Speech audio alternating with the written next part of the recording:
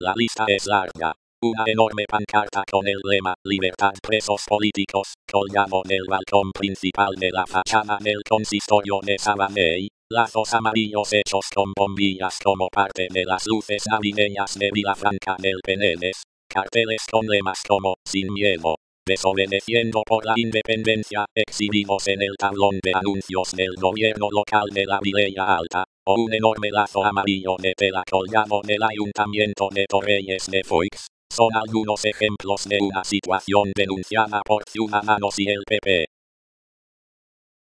No se puede hacer uso de las instituciones porque representan a todos los catalanes y no solo a unos cuantos, ha afirmado este martes Manel Lozana, candidato al Parlamento en la lista liderada por Inés Arrimadas. Es inaceptable que muchos no hayan acatado todavía la resolución de la Junta Electoral, que insta a la retira de pancartas, banderas y símbolos de carácter político y partidista de los edificios públicos, ha continuado el representante de Ciudadanos, después de que la Junta Electoral de Zona les diese la razón y obligase a los ayuntamientos de Vic, Torelló, Cainetenes y Tabernoles a quitar estos símbolos.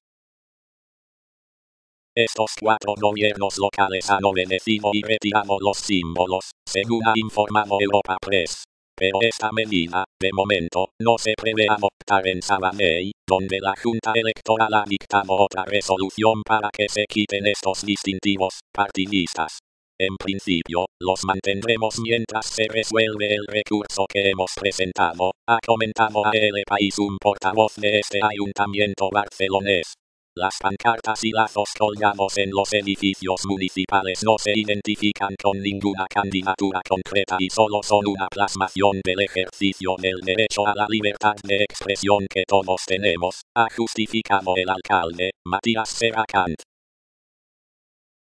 La presencia de pancartas a favor de los presos políticos y los lazos amarillos son una constante en los espacios públicos de toda Cataluña y la Junta Electoral Central ya se manifestó al respecto la pasada semana. Durante los periodos electorales, los poderes públicos están obligados a mantener estrictamente la neutralidad política y deben abstenerse de colocar en edificios públicos y otros lugares de titularidad pública símbolos que puedan considerarse partidistas y deben retirar los que se hubieran colocado antes de la convocatoria electoral, dijo el organismo, que especificó que este criterio se aplicaba a banderas, lazos, pancartas o cualquier otro símbolo que se identifique con alguna de las candidaturas.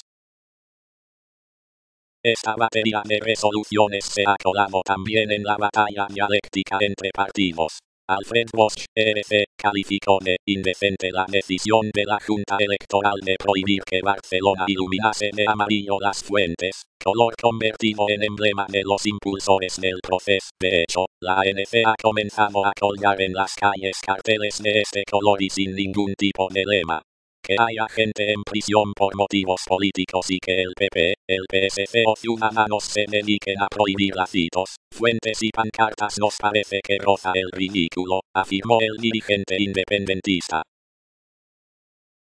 Pero esta no es la única queja de relevancia de la oposición que han aceptado las juntas electorales. También se ha prohibido que los miembros de las mesas electorales del 21 de lleven lazos amarillos, y que los consistorios de Barcelona y Girona exhiban en sus fachadas pancartas de libertad para los presos políticos, así como se instó a retirar las que había en el exterior de la sede de TV3. Una televisión calificada como negligente por la Junta Electoral, que ha afirmado que produce confusión entre la realidad jurídica y otra pretendida realidad y que ha prohibido a sus periodistas referirse a Carles Puigdemont y consejeros destituidos como gobiernen el exilio.